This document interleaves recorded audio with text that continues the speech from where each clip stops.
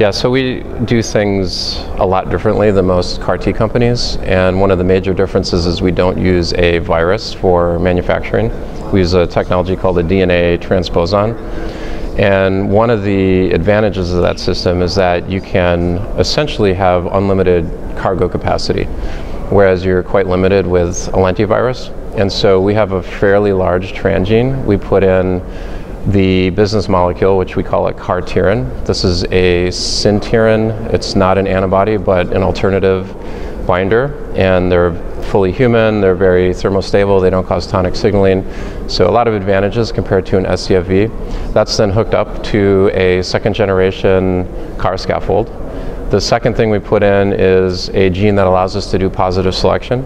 So unlike a lentiviral product where you may get 5 to 30 percent transduction, which means you're usually left with 5 to 30% CAR T positive product. We actually have 100% CAR T positive.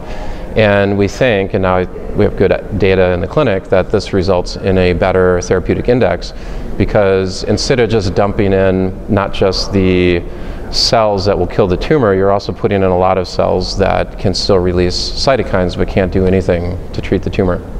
And then lastly, we have what's called a safety switch, which means if we were to see significant cytokine release or if uh, patient came down with any other symptoms or transformation event, we could always eliminate some or all of those cells by administering a small molecule.